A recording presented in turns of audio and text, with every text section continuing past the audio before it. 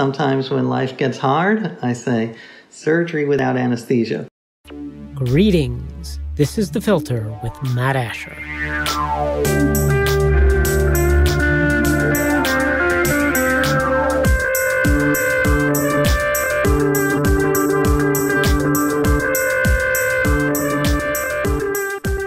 My guest today is AJ Jacobs. AJ, welcome to The Filter. Thank you, Matt. Delighted to be here.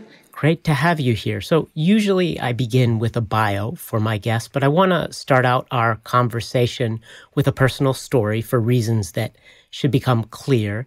In the late 90s, I was living in Seattle. I dropped out of journalism school after previously dropping out of engineering school. At that point, in my mid 20s, I worked for a magazine and run two free weekly publications, both of which had failed. And I was looking for a new project. Uh, a friend and future author and now past filter guest Jesse Walker told me about an idea called the Religion of the Month Club. So it worked like this. Each month, at the beginning of the month, you pick a new religion. You get deeply involved with that religion. You read their Bible, you go to their services, you become a true believer.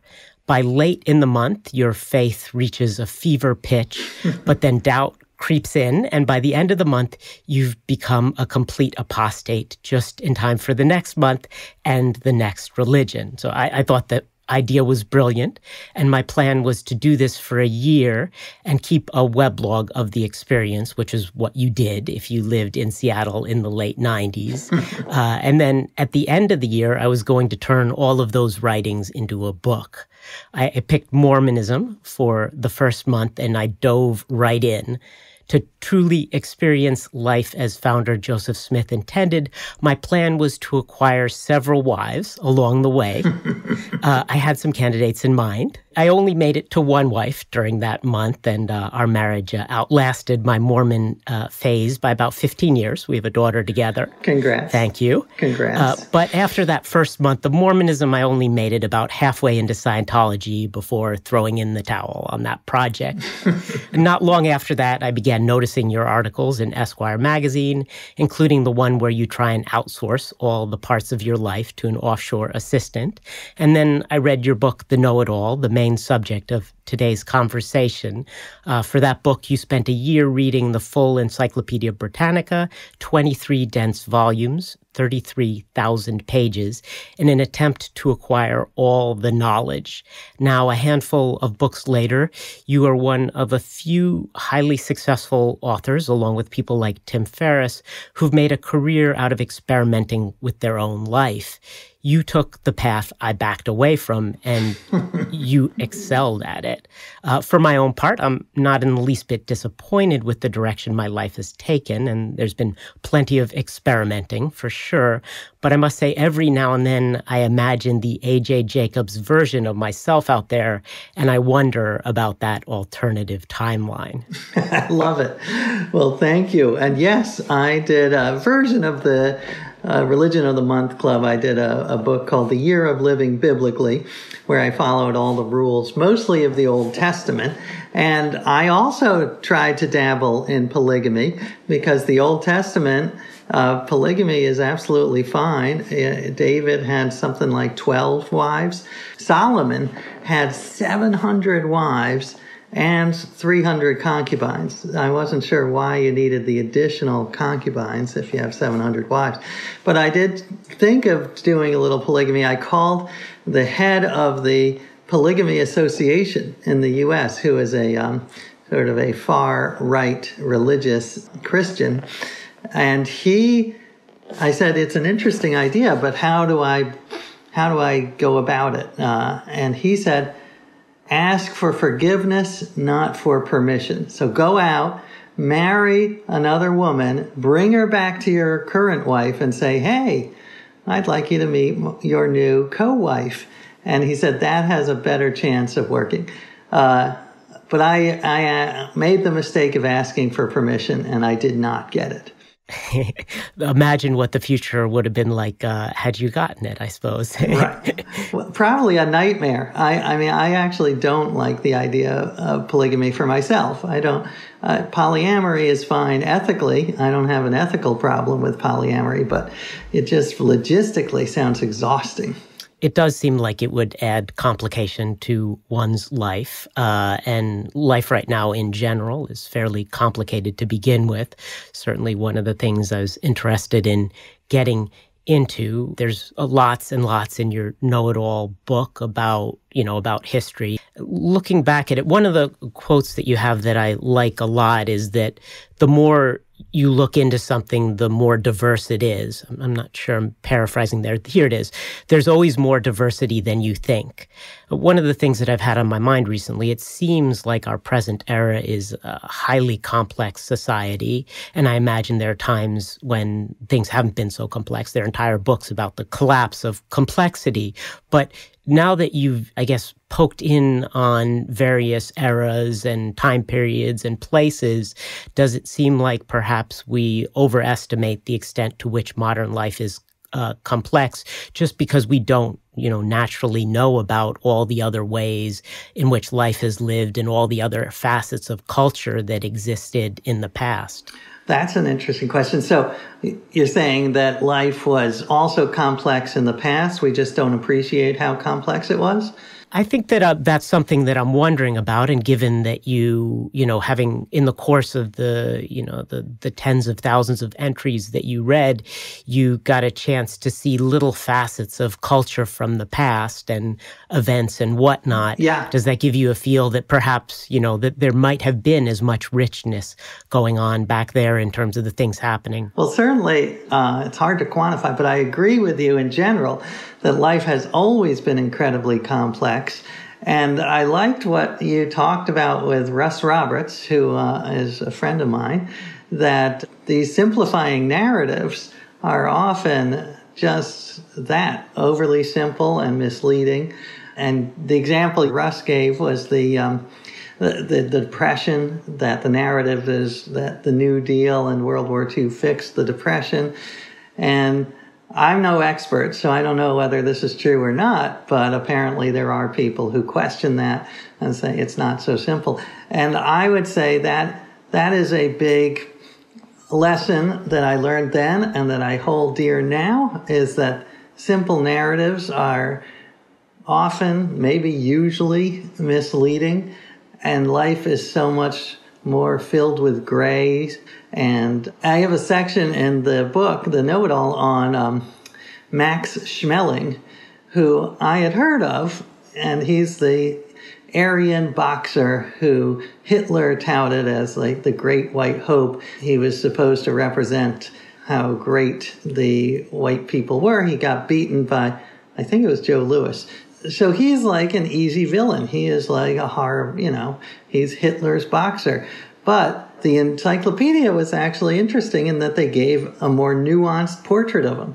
Now, I'm not going to, he's not my hero. I don't have a poster of him, but he did shield Jewish people during Kristallnacht. He had a Jewish manager, and the Nazis actually uh, punished him for having sort of uh, close Jewish ties and uh, and put him in a dangerous part of the army, the paratroopers. So he is uh, it's very hard to find pure villains and pure heroes in history. So that might be one example of complexity. For sure. Do you think that you know, having read the the whole encyclopedia and now looking at modern day events, that makes you more likely to reject the simple narratives of today, or do you find you still can, um, like all of us, look at something and go, "Oh, that's terrible. That's pure evil," or you know, "Oh, that's those people are doing God's work," without you know, without applying perhaps the the lessons uh, of uh, of your readings. Well, yeah, it's always a struggle because that's the knee jerk reaction. It's like, oh, this guy's terrible, this guy's a hero. But I do uh, strive, I struggle to look at the nuances. In fact, I was, I worked on a podcast, which I may or may never release, but it is uh, the premise was good or bad.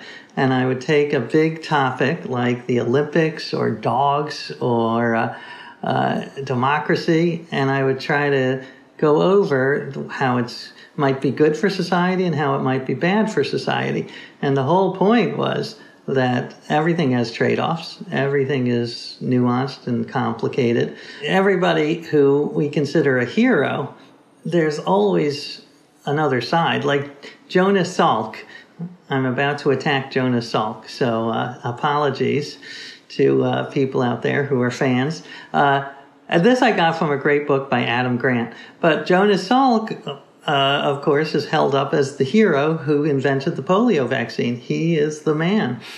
But he didn't do it himself. There were six other people in the, his lab who were intimately involved. There was lots of work before him that made his work possible. And he, the, the easier narrative, people like one hero. They like a story where there's one person who did it, one maverick who uh, changed the world. But that's generally not how life works. It's mostly a cooperative effort, uh, or there's lots of people overlapping. But who wants to see a Time magazine cover with like 14 scientists on it? You want to see that one hero scientist. Yeah, we like to have the the figurehead uh, for sure, the one symbol that embodies all of our love or hate for a particular thing, or who is the singular hero or villain. Right. The polio thing is very interesting. I just happened to look into some of the story behind it recently, and I'd recommend people check it out. It is not at all as simple as the story we learn about there was polio, then there was a vaccine, and then there was the eradication of polio. It's a much more complicated and interesting uh, subject than that, which I guess gets to that idea that the deeper you dig, the more you see about how much the stories that we're told is, is simplified. Can you give me a teaser of how it's more complicated? just that what we see is the clarity about both the causes and the cure for polio turns out to be not so simple. And I'm not a, a, doctor, so I wouldn't try to go into all of the aspects of that. I just recommend that if people are interested, they check that out as a as a an example perhaps of the way in which narratives can get simplified over time. Got it. Actually, what about the reverse of that? I, there were a few times in the book when you mention things that you, you know, that you knew that the encyclopedia didn't or that they got wrong. Were there any topics where you're like, there's so much more deep and interesting information than they covered in their entry? And I really wish they had gone much, much deeper about that. Well, I think that in retrospect, yes, uh, because whenever I see or read about something that has been covered in the encyclopedia, I remember the Children's Crusade has always stuck with me as this incredibly sad moment in history. I think it was the 13th century, and uh, allegedly thousands of kids went off on the crusade to the Middle East to conquer for Christianity, and and uh, they failed. They all got taken into slavery by people who were, uh, you know, pretending to be on their side. I don't remember where I was reading about it. It's just, again, much more complicated, and we don't know really what happened. I think epistemic humility is one of my favorite themes, and this applies to everything, but especially the past, where we have such unreliable sources. So who knows what really happened with the Children's Crusade? It's been embellished and conflated and all sorts of things. So, so I guess my answer is a little paradoxical. On the one hand, I think that the encyclopedia was too definitive in their history, saying this is what happened when in fact we don't really know. And it was, and it's also too simple in that the uh, the real story is much more nuanced. There's a couple books about the essentially the need for epistemic uh, humility, the the half life of facts, and then I think Klosterman's "What if What if we got it all wrong?" Yes, that, I think title something like that. F- fun books, both right, and they between the two of them, they're kind of a one-two punch about the ideas that the knowledge that we have is likely to turn out wrong in the end based on the past in which we've seen that the things we thought we knew turned out to be wrong you know having having read through everything you read do you have a feel in your mind for how much of that as you were absorbing it is is likely to kind of stand the test of time in terms of what we know about the world well, I think there are a couple of areas that I want to distinguish. I do think that the generally humans have made progress in knowledge, and I do think that's mostly through science. Now, I, am well aware of the biases and problems and corruption in science. I'm reading a book called Science Fictions, which is all about the replication crisis and publication bias. Uh, but that said, I do think science is the best way to create a model that predicts future events. So uh, I, I, don't want to say all knowledge is equally unreliable. So I am a fan of science. That said, I think that there's a lot of knowledge, especially like ethical knowledge, that we take for granted that people in the future will not believe that we held these beliefs. And I think about it often. What is the future slavery? What will 25th century humans, assuming there are some, look back and say, I cannot believe people did that. How cruel, how thoughtless.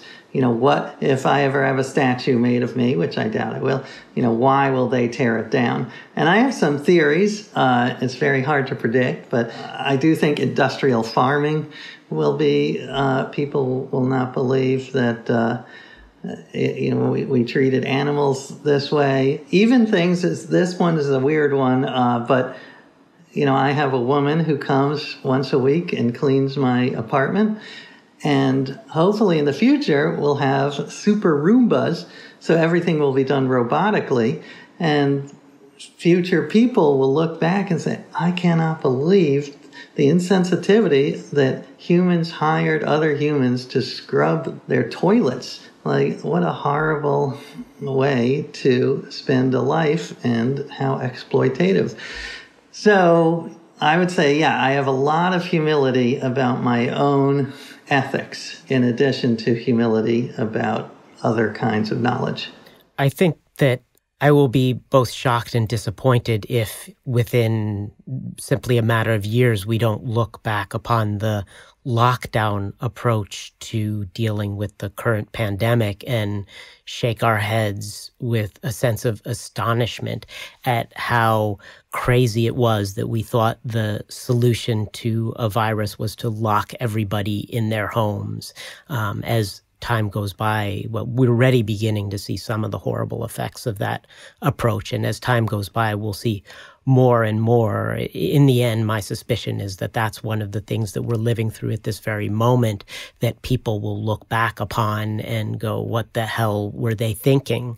But both custom and fear are huge motivators and is inertia, right? And you know, slavery has been a part of human history forever up until fairly recently in terms of the arc of, of human history. Um, and, you know, and the effect of fear on people in terms of turning them against their fellow citizens is also, you know, a long historical precedent. There was the Japanese internment camps that we do now look back upon and go, that was insane and a crazy overreaction.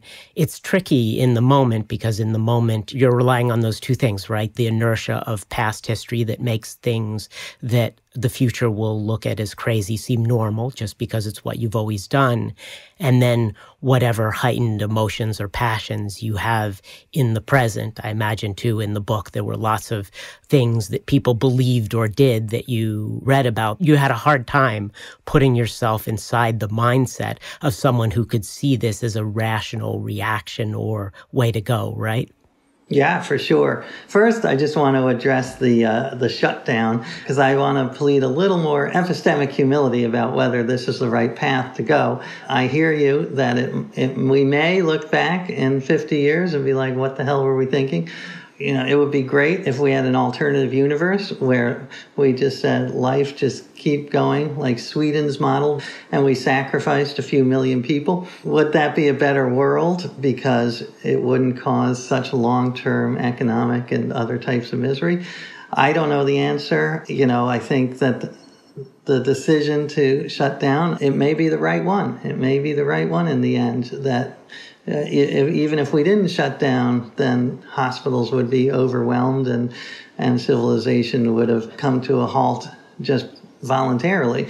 I don't want to get too deep into that, but I just would say I'm very epistemically humble about what is the right path. I have not studied it enough to really have an informed opinion. Unless I got a PhD in epidemiology, I wouldn't have an informed opinion.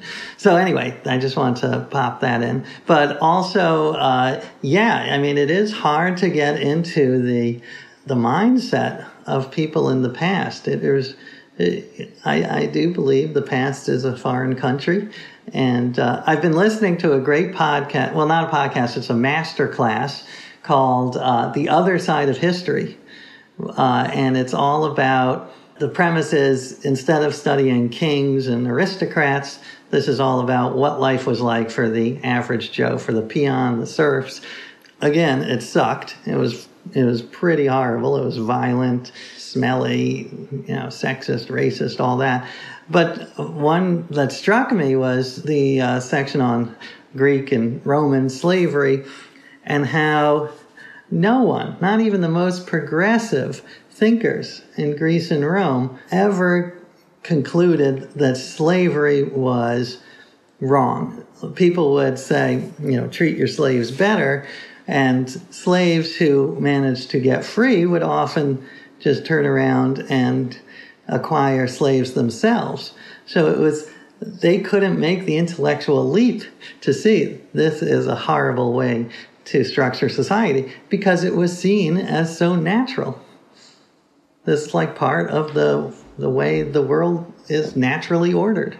The way it had always been and was. Right. Yeah, uh, unquestionably. Uh, there's so many things, it, but it, it's the air you breathe, right? It's hard to to question that. It's hard to even see that, and then it's hard to put yourself in the place of someone who is just completely enveloped in a different culture for sure. I mean, oh, I don't want to cut you, but I, but it, it reminds me. I have a section in the book about uh, burial, and showing how different societies buried people. And I never thought about the fact that you could bury people in different positions. You know, to me, the metaphor that death is the long sleep is so powerful that I'm like, of course you bury people lying flat on their back. But no, there were cultures that buried people standing up or in the fetal position because it's the long gestation. So this idea, like you said, it's the air we breathe. We don't even notice the some of the assumptions that we have. There's a, a fun little book called Fate the author talks about the ways in which the everyday metaphors we use shape how we view the mm. world. And that's certainly something that we don't think about. You know, one of uh, her lines is that you can, you know, you can live in Cincinnati or you can live in denial.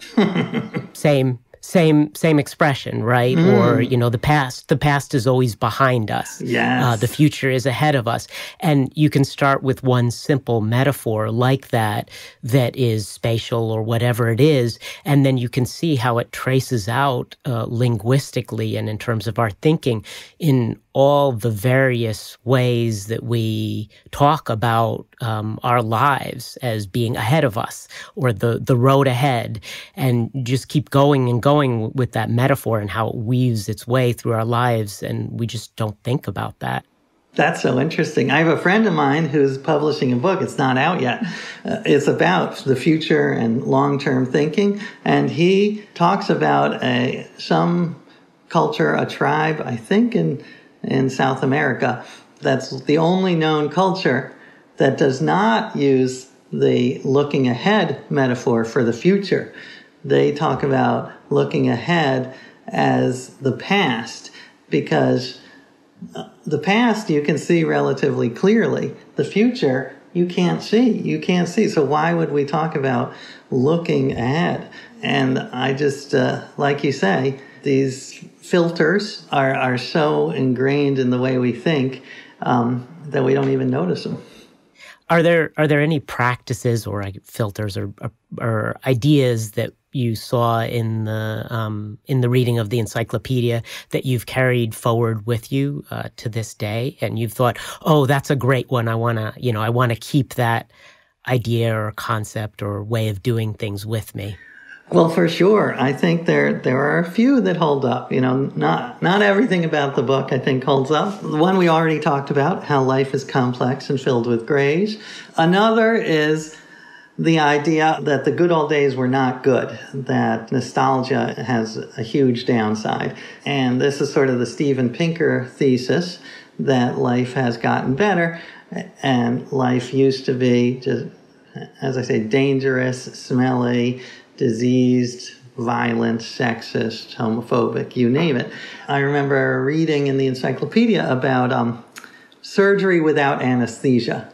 And that is sort of a good three word mantra that sometimes when life gets hard, I say surgery without anesthesia because it had some first person accounts in the encyclopedia of people who had undergone surgery in the 18th century. And it is just so horrific that it kept me up for days. Now, I will say, since as we mentioned, everything is nuanced, I don't think it's so clear cut that everything is better today. Like, not every, it's not a clear, simple narrative. Uh, two things come to mind. One is, yeah, things have generally gotten better, but we now have nuclear weapons and we have CRISPR that can engineer killer pandemics. So this is not guaranteed to continue. And second, I don't think, for instance, I mentioned factory farming. You know, I don't think life has gotten better for the average animal on Earth. It's gotten better for the average human, I think. But uh, there are there are other beings out there. One of the things you talk about in the book is obviously a, a, comprehensive encyclopedia or an attempt at comprehensive encyclopedia is going to have a lot of violence in it. Our history is is very violent, lots of brutality and other bad things happening. People often talk about what is the effect on kids of seeing so many gun shootings on TV or things like that. What do you think, if anything, was the effect on your brain of taking in just so many entries that must have been filled with horrible things happening. That is true. Well, I think that is an interesting filter because I do think we are attracted as humans to the conflict and the violence in terms of story. But much of history was nonviolent. There was plenty of improvements, small incremental improvements in medical advances and etc. Uh, but those are not as good stories. You know, if you watch the History Channel, they're not going to show.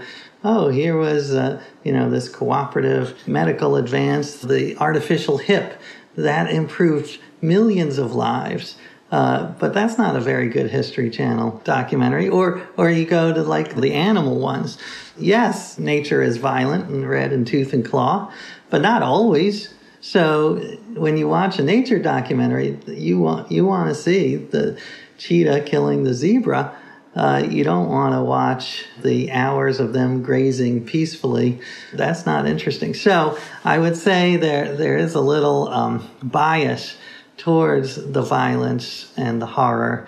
When I read about history, I try to balance that with, you know, a lot of it was just boring, either neutral or slightly positive, better than neutral people living their lives. So that was your way of coping with the onslaught of all of these violent stories was just to tell yourself, well, these are just the clips of the lion eating the zebra that I'm seeing and exactly. not the, you know, the two of them lazing around, uh, enjoying themselves. Uh, yeah, that, I mean, in retrospect, that's my strategy. I don't know if I had that strategy at the time, uh, but that's the story I'm telling. We talked a little bit about like uh, the way in which knowledge can be discovered to be wrong over time. How much do you think of what you consumed was not so much wrong as uh, outdated at this point? Like we're 15 years on how much of this is countries that no longer exist, mm. capital names that have changed, and so forth, and things that are just no longer relevant? That's a great question. And I think that was part of the half life of facts, right? Isn't that part of the thesis of that book? That's one of the ways in which kind of information can decay is that things move on, um, countries cease to exist, and, and so forth. And the things that were true uh, are no longer true, not because we've overturned a scientific theory, but just because time has marched on and, you know, the human civilization has changed. Right. I mean, I, I think I was certainly struck by that reading the older editions of the encyclopedia, like, uh, you know, the first edition in 1768, where California was an island, or even the whole tone of the 1911 edition of the encyclopedia, which is, which is known to enthusiasts as this sort of wonderful, mythical, literary version because it had Houdini writing about magic, it had Freud writing about psychoanalysis, it had all of these amazing people writing. But it was also, it had this tone of Steven Pinker on steroids, that the world was getting better and better and better. And we were sort of at the end of the dark ages, and rationality had conquered everything. And then, you know, a few years later, World War One, and so it became clear that that was an over optimistic reading of human nature. I, am trying to think of examples of, I haven't kept up with how the encyclopedia is covering the world now, but I mean, we live in a different information landscape, so I'm sure they have had to adjust. And I think some of that is probably good. I do think there was probably a Western centric angle on history in the encyclopedia. I will say, not totally. It was certainly one of the revelations that I had was how little I knew about, for instance, Asia and Asian history. Because I remember reading the section on the Taiping Rebellion, which I had barely heard of. But this was an extraordinary event in Chinese history. It was in the 1860s, about the time of our American Civil War, and it was sort of this Christian, charismatic cult leader who declared himself the second coming of Jesus and had millions of followers. And they declared civil war and almost overthrew the empire. And in that, according to the historians, and again, we should have epistemic humility, but according to historians, an estimated 20 million people died in the Taiping Rebellion. And in the U.S. Civil War, uh, I forget the estimates are around 700,000, I believe. So this is uh, multitudes more than people who were killed. And the fact that I knew tons about the U.S. Civil War and nothing about this Civil War, it was it struck me as very lopsided and strange. It's it's very interesting how that we seem to have these essentially collective black holes of knowledge about things that it would seem that everyone could agree are of huge impact, like the uh, Taiping Rebellion, which you mentioned. I see that too in the disparity between the amount we talk about, say, the Holocaust, which everybody knows about and rightfully so and discusses to things like the even more recent in history the you know the cultural revolution and forced collectivization in China that was maybe 30, 40 million people who lost their lives. We have these black uh, holes of knowledge. And I think sometimes in my darker moments, I think that that's because people deliberately don't want to know about particular things because they go against their own tribal belief systems and don't want to confront them. Actually, in my even darker moments, I think that people are doing something like a, a version of the kids' game of, of peekaboo, right? Where you can kind of cover your eyes and then it makes that bit of history go away or be something that you don't have to recognize or contend with because, you know, we're just not talking about it or seeing it and teaching other people about it. But then in my less dark moments, I just see it as the culture that we have at this particular time has decided that this is worth knowing about and this other thing either isn't or it's just that those other things are so interesting to us that they take up all the oxygen as far as our ability to you know to breathe in all of this information i think maybe some combination of those things is true. And it's also true that, especially when it comes to something like the Encyclopedia Britannica, everything gets filtered through a lens of is this culturally, is this so in my discussion with Sandra Tsing Loh about the book Class by Paul Fussell, we talked about the ways in which knowledge is actually in part a function of what class you're part of. People at this level of class believe certain things and know certain things to be true, and people at lower levels uh, in the uh, class hierarchy know other things to be true and believe other things about the universe. And certainly, you encountered in your reading that certain topics are considered worthy of a huge amount of attention. I think you mentioned something like chamber music and so forth, right?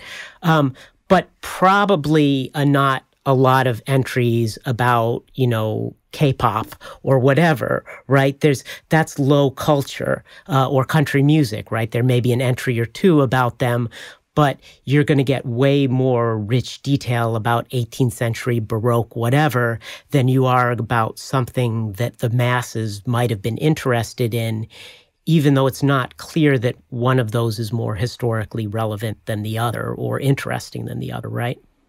Yeah, absolutely. That's true. Uh, wait, I have two things to say on that. Um, first, yeah, it is very bizarre what what is considered high culture and culture worth knowing. It's very arbitrary and it changes. You know, I uh, Melville, Herman Melville, when he died, was a relatively obscure uh, you know, Moby Dick was not considered the greatest novel ever. And I forget, uh, I'm going to be epistemically humble and I forget how it happened, but I think there was one professor, a Harvard professor perhaps, who wrote uh, a defense uh, of Moby Dick and and that sort of vaulted it.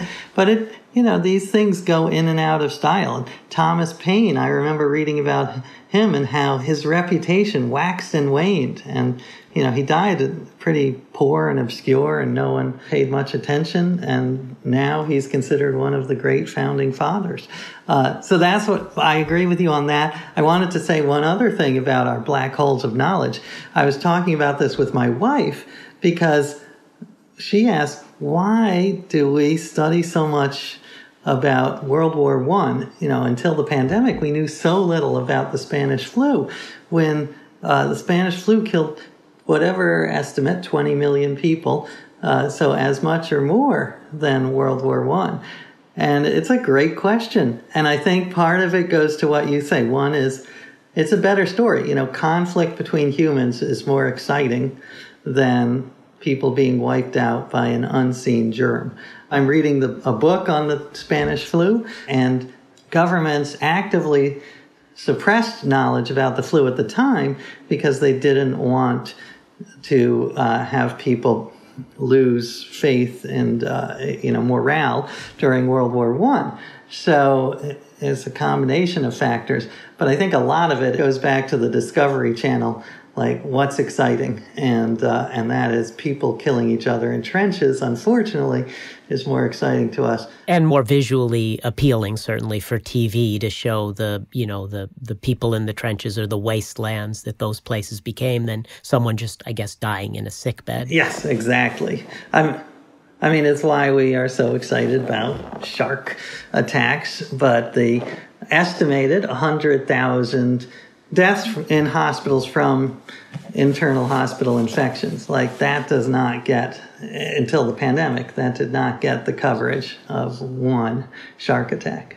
That's a really interesting point there. And I think it, it may be actually a stumbling point for us collectively that we have a hard time focusing on the problems that are deeply important and could be deeply impactful, but that aren't sexy because you know you couldn't make as gripping a movie like Jaws as you could about you know about people getting infected in hospitals by you know by by diseases. Maybe you could but you know at least it doesn't it doesn't loom as large in our brains as something that excites us in a in a general way. And uh, that I think that does hold us back collectively in some sense because it's very often the case that those things would have a much greater impact on on our rising up as a as a species overall than say eliminating all shark attacks. Absolutely. I think it's a huge problem, maybe one of the biggest we have. And I think climate change is an example. Uh, like until recently, it was very hard to visually tell an exciting story about climate change because it was slow moving and it, uh, you know, there is no villain, there's no one serial killer. Uh, now, maybe, uh, you know, if you believe that the wildfires are the, due to climate change, you know, I definitely believe in human-made climate change. I'm not not as sure of how it links to disasters because I'm not an expert on that. But if you do believe, you know, the wildfires are caused by climate change, you know, that's a pretty stark visual. That's a pretty compelling visual. So I think that will motivate more people. That's that's really interesting to me. The uh, the climate change thing is fascinating to me in general. I'm much more skeptical of it, especially skeptical of the idea that there's not just a overall trend, but that human beings are creating a catastrophe, an absolute disaster waiting to happen. So I, I analyzed the data myself about five or six years ago and um, and wasn't as impressed as as other people are about the case. But also one of the things that factored into my thinking the most was what you mentioned about there's always being more diversity than you think. We look back at the climate record as we have it, and it looks much more stable than I think it really was. In fact, I'm sure of that. This is a measurement problem. It's like if you ask someone to measure the length of a coastline and you give them a globe, they're going to come up with a much lower number about, you know, how many miles of of coast is there on the east coast of the US than if you had someone who had a map of higher resolution and they would come up with a different number than someone who was you asked to actually get down there and walk along the shoreline and you know and try to record it they would describe the coastline as much much more jagged and varied than uh, than the person who has that kind of satellite, uh, very low resolution view. And when we look back at the past and at the past record, that's what we see. We see a simplified story of what the climate looked like in the past, if we were actually living through it, then we would see days that were, you know, extraordinarily hot and extraordinarily cold and swings that are not fully captured by the records that we have in a short, you know, in trees and in other things that we use in a secondhand way to try to get at what that evidence is. Not to say that human beings aren't affecting the, the climate or that it couldn't be real, but that our view of the record of the past is it's we predict the past and when we predict it we smooth out that prediction and pretend that there's not an error bar or pretend that it was less as you say less diverse than it really was. There was a lot of variation and diversity there that gets covered up by time well, let me uh, let me give pushback a little on that, and uh, defend the mainstream view about climate change. You know, I did a book about the Bible, and I uh, went down to the Creationist Museum in uh, Kentucky, which is staffed by people who believe the world was created five thousand years ago, and they reject the theory of evolution. And now these are very smart people, but because of their preconceived notion that um, uh, you know, the Bible is correct, they are able to find very compelling science, and I put that in quotes, that, uh, you know, evolution is a hoax. And they, you know, if I am in a one on one argument with them, they would probably win that debate of evolution versus creationism because they spend all their time studying it. And um, I just accept the mainstream scientific opinion uh, of 99% of scientists or whatever that evolution is real. So that's the way I like to think about climate change. You know, I am not an expert, and even if I did spend six months looking at the data, I don't think I have the background and statistics to really know. So there is there is a danger in the heuristic of trusting 97% which, of, which is actually not a, a, real figure if you dig into that 90% of them had a neutral or a particular and it was a specific subset at any rate that that figure that seems very certain is um, is a bit let's just say overplayed it could be. I'm going to plead epistemic humility on that because I, I didn't dig in. But anyway, I do think that in this case, a good heuristic is to trust a mainstream science. It's not a perfect heuristic, but especially in this case, the um, the downside of not trusting it, I think, is huge because say even if it's a 50% chance that they're right and that this could cause really disastrous consequences, even if it's just a 50% chance, shouldn't we put a huge amount of energy into fighting it? Yeah, that's one of the most interesting arguments out there. Do you know uh, Pascal's wager? I do. I do.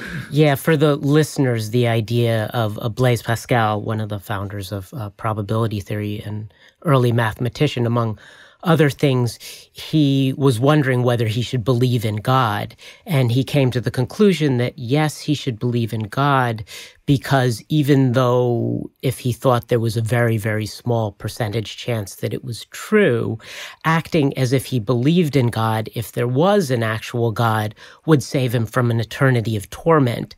And the value of that was so high that conforming, you know, all he would lose was his life as far as living a pleasurable life or whatever it was by conforming to what he felt like God would want. Whereas if he was wrong, the impact would be an eternity of suffering. And when you weigh those two things together, obviously you want to go in the direction of the one that, even if it's very unlikely, would have the most devastating impact if it were true and try to mitigate that uh, and keep it from happening is a very interesting argument and deeply wrong in some ways. Not that his line of thinking was incorrect, but that it omitted certain things. And the thing that it omitted is, I think, the same thing that people don't really like to talk about when it comes to the climate change thing, which is that putting all of your energy into preventing a particular thing from happening has an opportunity cost and that opportunity cost could be huge.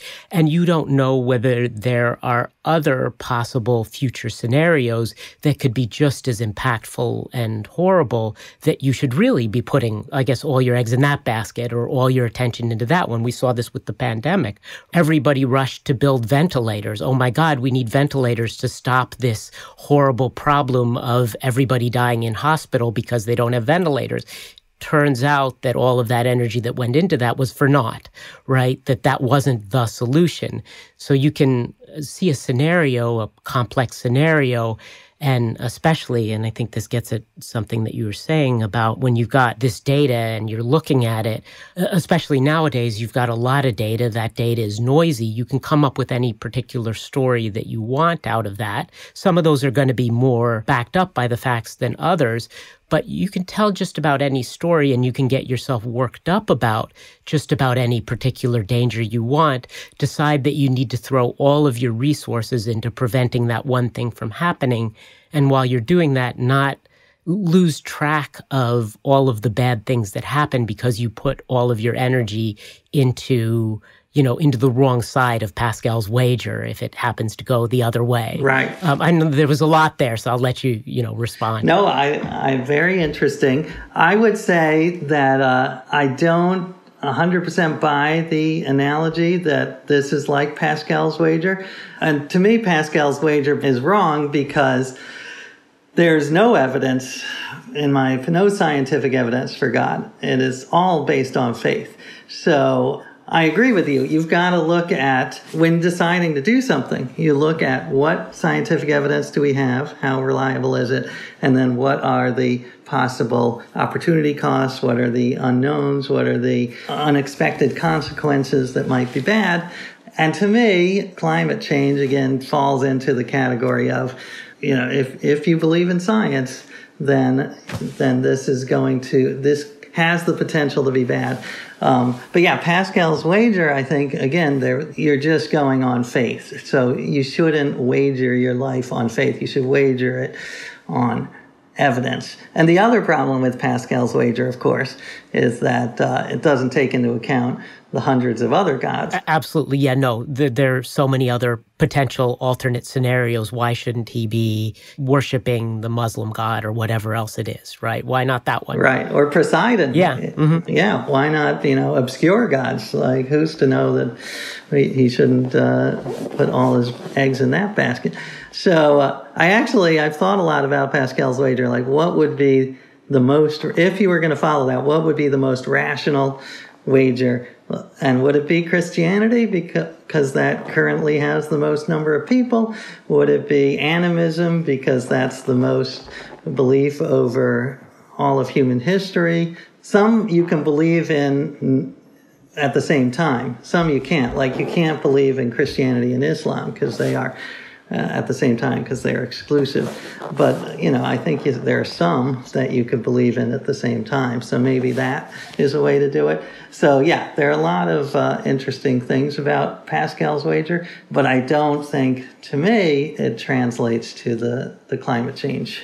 I, I get what you're saying, especially about the fact that there is you know, there's scientific evidence for one, and I don't doubt that there is uh, evidence for it, just that it comes in uh, the form of very noisy data that doesn't compel you to come to that uh, particular conclusion. At least I, I, analyzed it, as I say, maybe five or seven years ago, the data, and uh, found it to be also compatible with the theory of essentially a random walk of temperatures where things are going up and down, especially when you take into account the idea that the past may be much more variable than we think it was uh, in terms of that idea of the you know the diversity of the past. Given that you mentioned the religion thing and the the multiple gods thing, and you'd written that other book, what is your thought on the idea that the Bible actually lives in a universe where there are multiple gods, like internal to the logic of the Old Testament is the idea that the universe itself has multiple gods and this one particular god just wants to be your your exclusive one. Right, that is fascinating because, as you say, in, early in the Old Testament at least, it, you shall have no other God before me. But it doesn't say there are no other gods. It's just like this is the CEO God, this is the top God, and you should worship him, and everyone else is on a lower level. And again, the Bible, I think one important realization I had is not, it's not a monolith. Even the Old Testament, you know, there were dozens of writers over hundreds of years. So I'm sure some of them were monotheistic in the way that we think of now, but some were more polytheistic. And I've actually thought about this in reference to, you know, good or bad. What are the pros and cons of monotheism versus the pros and cons of polytheism? Because polytheism, in a sense, is it's much more interesting. Like the the Greek gods are much more interesting. It's more like a soap opera. Uh, you know, they're they're all cheating each other. They have flaws, and they're you know they're all these dramas. And one thing I do like about monotheism, and I'm not a believer in God, but one consequence of monotheism is is the idea that we are all God's children. You know, this was a sea change from the idea that you know some people like Egyptian pharaohs were gods and everyone else was was human. So it's it's like a very uh, hierarchical. There are there are different types of humans, and some are more holy than others. Whereas in monotheism, there is just one God, and everyone else is equal. And that I think is a very nice message. Uh, you know, I, I I don't think you have to believe in a single God to have that message, but it might have been a very useful message in terms of human history. Interesting. It's interesting that you bring that up too in terms of the how you don't see yourself uh, even now as as religious. The idea then of the kind of fake it till you make it uh, perspective obviously didn't rub off in at the end of your year of living biblically. No, I mean, well, I will say, uh, religion again is a complicated thing. There, one of my spiritual advisors broke it up into the three B's. So in religion, you have belief, belonging, and behavior. So belief in God or gods, belonging being part of a community, and behavior, which can mean either the rituals you practice or the ethical behavior that the religion encourages. And I certainly don't have the first B, belief. Uh, you know, I'm agnostic slash atheist. But I do see that there can be advantages to the second and third B, and I'm not a believing Jew, but I do sometimes enjoy the rituals of getting together with the family, uh, you know, for Seder, or doing a Sabbath, a Shabbat, where you try not to work for a day, which is very hard in our iPhone era. I am agnostic not only about God, but whether religion has been good or bad for humanity. You know, there are some great things like the abolition movement that were very religion fueled. Um, but of course, the Crusades and, and dozens of other you know, fundamentalist terrorists. It's hard to say whether religion overall has been good or bad for the world. I wouldn't clump religion as all one concept. I say, you know, there are different parts of religion belief, belonging, and behavior, and some are better than others. It certainly, religion can encode some ways of life that are good or practices that seem wise, like taking a, a, day off, something that I too sometimes aspire to and occasionally achieve, uh, as far as a, a, regular kind of. Especially, I'd love to be doing more of a tech Sabbath in my life, uh, but that's that's fairly challenging. Were there getting back to the know-it-all? Were there any um, cultural practices that you thought to yourself, "Oh, I should adopt that particular one um, and see if I can uh, make that a ritual in my own life"? Well, there is. I did love. Uh, you, you might know that when Roman emperors came back from a victorious campaign, they had their triumphal march, their triumphal parade, and they were on a chariot. But they always had a slave whispering in their ear behind them, uh, "You are mortal. You are going to die." And the idea was, don't get too cocky. You know, it was sort of an, uh, a hedge against uh, them megalomania. And I love that. I think I would love to have someone you know, whispering in my ear about my mortality. You know, this whole idea of the uh, memento mori, the reminder of death.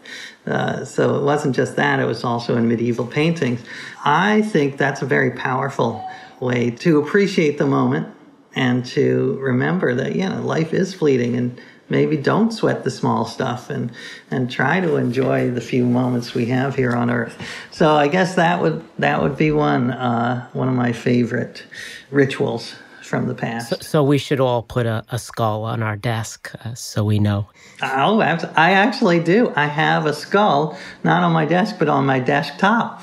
Uh, it's a little JPEG. I didn't want to go with a creepy skull, so it's sort of like a colorful psychedelic skull, but uh, it's my memento mori. Before uh, wrapping up, and to wrap up perhaps on something other than death, although that's a good final topic, I suppose. uh, I want to sure. I want to ask you one uh, final question, and not to put too much pressure on you, but I'm going to judge your entire encyclopedia reading project based on how quickly you can answer this question, uh, which also happens to be my favorite crossword puzzle hint of all time. Are you ready? I am ready. Okay, here it is. Who was Chang's closest relative? well, physically closest, I suppose, was Eng. Yes. E N G, Chang and Eng. Yeah, they. Uh, I have a section on Chang and Eng in the in the Know It All, and I I don't remember everything, but I do remember that, and it was an extraordinary story because they were the original Siamese twins in the 1800s. They worked for P.T. Barnum. They were an inspiration about the adaptability of humans because they got they both got married and they would spend one night at one house, uh, and then they moved to the other wife's house for the next night. And, uh, you know, just they had kids, so they obviously did something. And that is, you know, can, can you imagine the awkwardness of, you know, when you're brother is going at it, like, what do you do? Are you reading, you know, the newspaper? What's going on?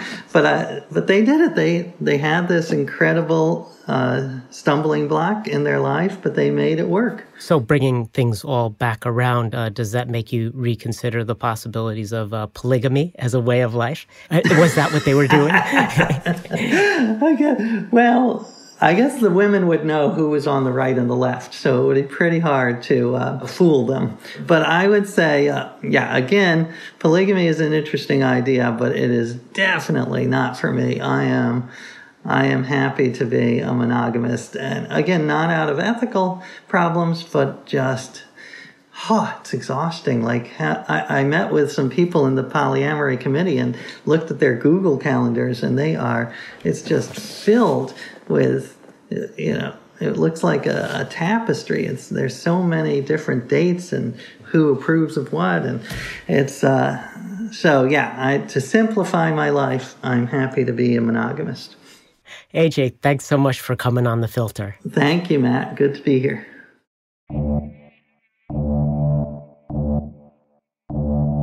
Thanks for listening to The Filter with Matt Asher.